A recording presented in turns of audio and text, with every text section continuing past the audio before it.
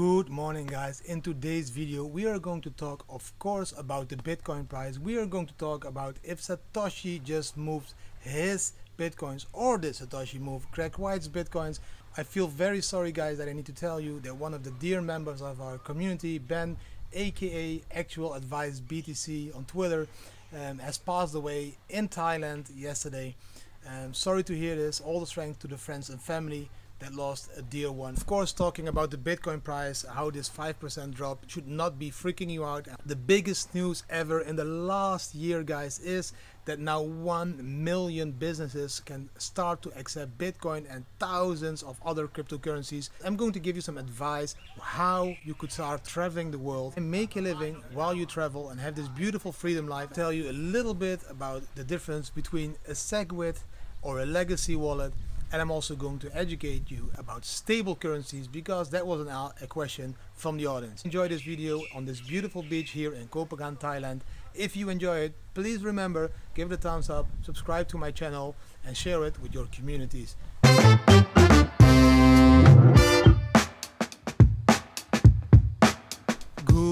Morning guys from my beautiful office in Koh Phangan. Jump into this beautiful office.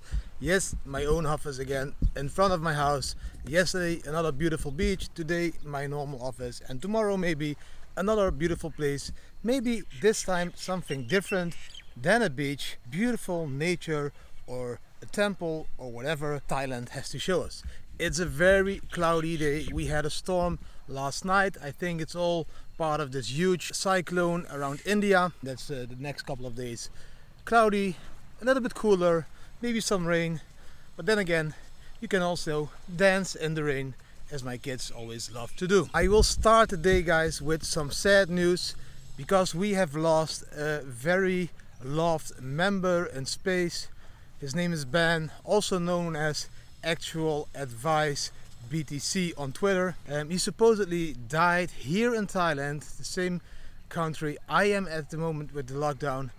Um, he was a guy in space that was really loved. He did some real cool moves. He was a huge trader. He moved millions dollars of worth of Bitcoin in the trading landscape.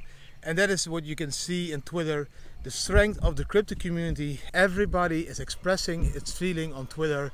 Um, even uh, CZ from Binance, you know, um, Armstrong from Coinbase, all these guys know each other. Um, sad to hear that we lose these people at these young ages. Well they have built up this beautiful industry. Rest in peace ben and all the strength to all the family and friends that have lost a beautiful character in this space. It is a reminder to me and it should be a reminder to all of you out there like my kids love to say it yolo you only live once you never know when you die. You can die young, you can die old. But it doesn't really matter if you just live the life to the fullest every day of your life. Because then at least when you die, you had a hell lot of fun in living life and you just made the best of it without too much stressing and all these things that just ruin the fun of life. So guys, just remember, you only live once, live life to the fullest. Yes, I will talk about the Bitcoin price as well. Uh, normally I start with it, but I think uh, the death of a person is way more important than the price of Bitcoin. And there is one more thing I want to talk to you guys about before I go uh, further with the Bitcoin price. It will only take a few minutes, but just hang in because the price is also some interesting news. But guys, yesterday, that is why I love this space. All this excitement, all this drama, because 50 Bitcoins were removed from a wallet that hasn't been touched for 11 years. These Bitcoins were one of the early mined Bitcoins in the period Satoshi mined Bitcoins as well. It even was mined in a block between two blocks that were mined by Satoshi. So many people were speculating, wow, Satoshi is moving his bitcoins. Um, yes, that could be true, but we don't know for sure.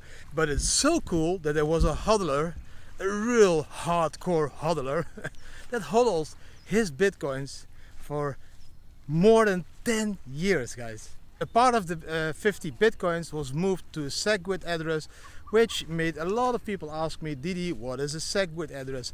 Uh, guys, you need to understand there are two types of Bitcoin addresses. You have the SegWit uh, addresses and you have the pre-SegWit, which is the legacy addresses. Um, very technical story, but it started with legacy addresses and then it evolved to a SegWit address um, so that more transactions could fit in a block. What is the important thing for you guys to understand? The if you use a SegWit address, uh, you will probably have lower fees in sending your bitcoins. How do you see the difference between a SegWit or a legacy address? You can just see it by the number. If you see a Bitcoin wallet starting with this 3 or BC1, then you're talking about a SegWit wallet. All the other ones are just legacy wallets. I still hodl bitcoins in a legacy wallet as well, and I also hodl bitcoins in a SegWit wallet because indeed the fees are a little bit lower. So it's more usable if you want to send small amounts of Bitcoin all over the world. The beautiful part of this story is that probably is not Satoshi that moved these Bitcoins because if Satoshi would move Bitcoins, he would probably move a little bit more bitcoins. And no, these 50 bitcoins didn't crash the Bitcoin price with 5%, but we will come back to that in a few minutes. The other part of this story I want to talk to you guys about is that Craig Wright is in this lawsuit. I think it's the 6th of July or something. He needs to go to court to prove that he has access to these Bitcoin wallet addresses he gave to court. Let it be a coincidence that one of the addresses that Greg Wright stated to be his was the address that now was used to send these 50 bitcoins. So this is becoming a very exciting, dramatic story. Because what if Greg did move these bitcoins to prove in court that he can?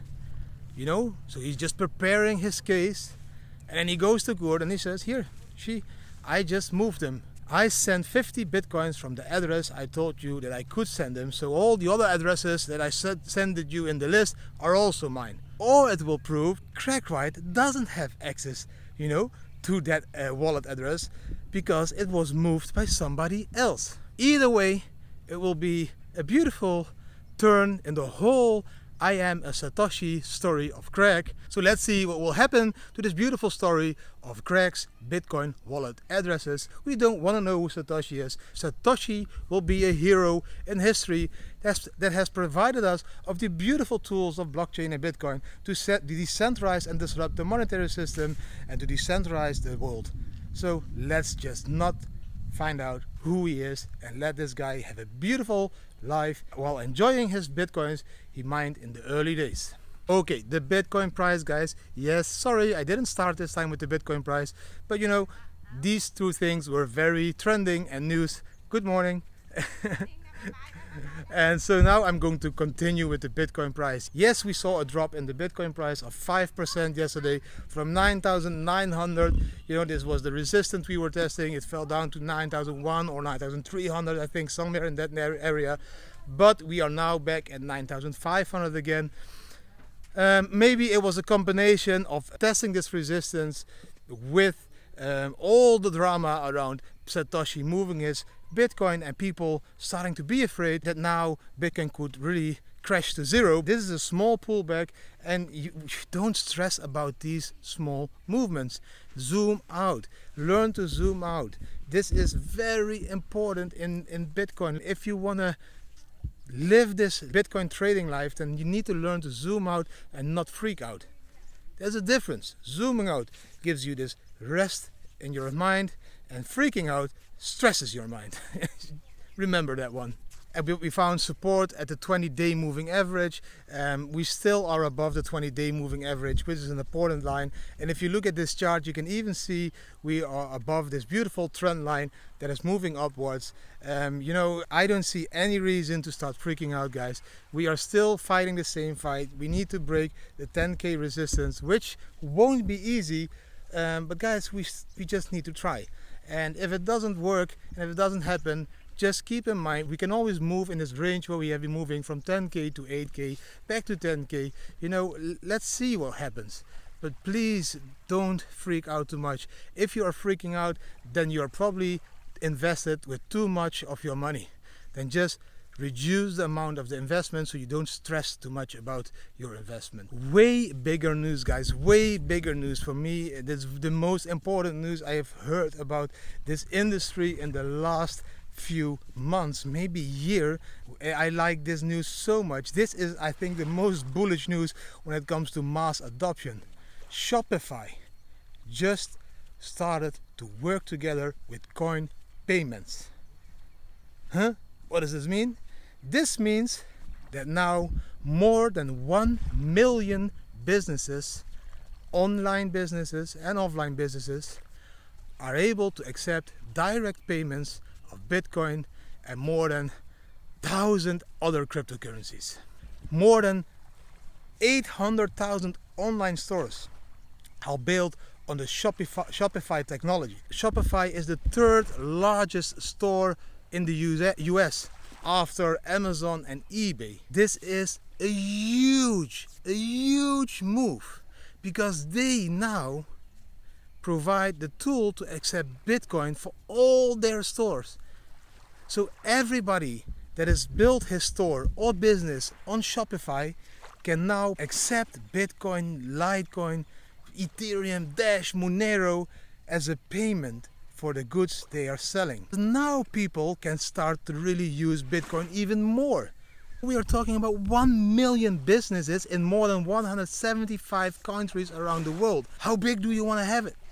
This is mass adoption. This is what makes me happy. This is what should make you all over there happy. Not the 5% drop of Bitcoin. This the increase of 1 billion businesses now able to accept Bitcoin. This should make you the most happy guy or woman, because we have a lot of women in space now, this should make you the most happy guy or woman in the world. Because this 5% drop is nothing. The 1 million increase of businesses now able to accept Bitcoin is huge. This is the difference between the wealth accumulating oriented people in this industry and the adoption oriented people in this industry. I just want to educate you to become part of both of these groups. Yes, you can accumulate wealth, but please make sure you're also part of this drives the mass adoption of crypto. And this is now why this news needs to be on the front page of every news publishing website not the sixth or the seventh article in small letters. It needs to be the headline article. One million businesses now accept Bitcoin. That needs to be the line. I think I will use that shouting line as my thumbnail clickbait text today. I had a question uh, from the audience. This guy was asking me, Didi, is it even safe to trust Tether, US dollar Tether, or Pax or DAI. Let, it, let me tell you this. I have been investigating all these currencies a little bit. And yes, if you look at these, they are all centralized cryptocurrencies, okay? They all are pegged to the dollar. So that means they always have the value of one dollar, about the value of one dollar. It's centralized. So this is not my favorite aspect of a cryptocurrency to be centralized. It needs to be decentralized. The only decentralized one at the moment, I think, is DAI. DAI is also built on Ethereum and is backed up by smart contracts in Ethereum $2. DAI is the most decentralized version, but the DAI is not the most used version because it's not um, accepted on every exchange. So that is why most people will be using US Tether, US dollar Tether or USDC or um, Paxful. If you ask me, can I trust these currencies? Then I ask you the same question. Can I trust the dollar? Can I trust the euro? Can I trust the Thai baht? Can I trust the Venezuelan bolivar? Can I trust the Zimbabwe dollar, however it's called? I trust the US dollar Tether, the Paxful, the DAI, all these central and decentralized stablecoins way more than fiat currency.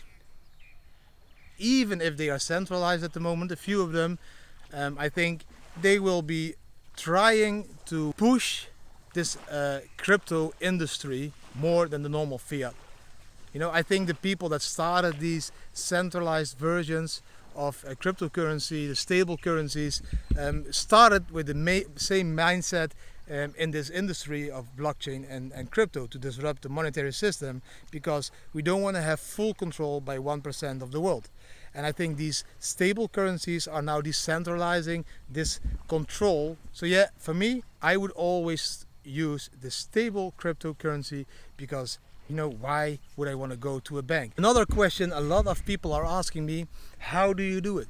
How, how could I work online, travel the world and have this life you're living with your family because I need a job. I need to stay in my hometown and work there and, and you know provide and have money to pay the mortgage and all that stuff. No, you don't. You don't. Let, us take the news of today. Coinbase just, uh, Brian Armstrong of Coinbase just said, guys, I want you all to work from home. He's even shutting down one of the big offices, I think in San Francisco, and now opening 10 small offices all over the world where you could check in if you want to work from your office.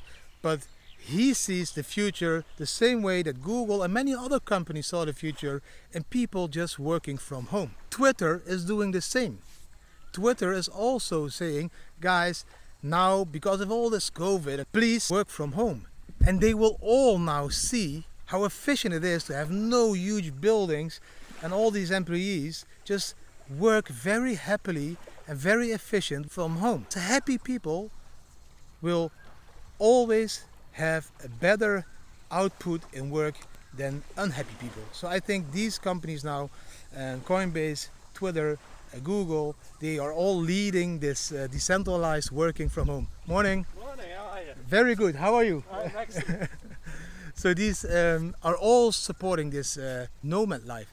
If so, if you want to live this life we are living, without all the risky, volatile, all-in Bitcoin mentality we have, just apply for a job at Coinbase or at Twitter and just ask them, can I work from home? And then you just travel the world and yes, you keep working. You work every day like eight hours and the rest of the day you spend on the beach or other beautiful locations. So many possibilities. Don't think inside the box, always think outside the box thinking outside of the box will tremendously increase the opportunities and this is not the only way to make to make a living while traveling guys this new virtual world i've been talking about this virtual world now for a few times because i see my kids going into these Minecraft and all these worlds. This virtual industry is now about 2.5 billion people. 2.5 billion people are in this industry. So there are many jobs, many jobs in this virtual world industry as well. You can be a content creator, which makes money. You can even be an online farmer that makes money. Like, for example, people in Venezuela, the average uh, income every month is like $7. If they make $40 a month in a virtual environment by growing crops or whatever in this virtual life, in Decentraland or Cryptovoxels or you know Minecraft, then they will make five times as much as their normal salary by doing a normal job in Venezuela. So this is why these virtual worlds and the jobs connected to these virtual worlds, worlds are exploding. There are people making six-figure salaries in these virtual worlds. You have asset creators, you know, the people that design shoes or jackets or a new sword or whatever furniture. There are guys that make like $120,000 a year. You don't need to have an office to do this. You just travel with a beautiful laptop. There are many, many more ways than you have been taught in a traditional schooling system. That was all for today. I hope you enjoyed this video again. Give it a thumbs up please. Um, subscribe to the channel. Um, click this bell button so you'll be notified on every new video. We are almost there. We almost have 4,000 followers. We need about 150 more followers to break the 4K resistance. So please help us. Please tell all your friends and family, go and follow this beautiful family on YouTube because they try to educate you not only about life and show beautiful pictures of beaches, but also educate you about Bitcoin and the future of money. Uh, and before I go guys, yes, the contest of two t-shirts is still on. You need to share one of my videos, tag two friends in it, and with a small text, what a cool video or something like this. I wish you an amazing time. Live life to the fullest every day, day in, day out. And see you tomorrow again from another beautiful place on Koh Phangan. Bye.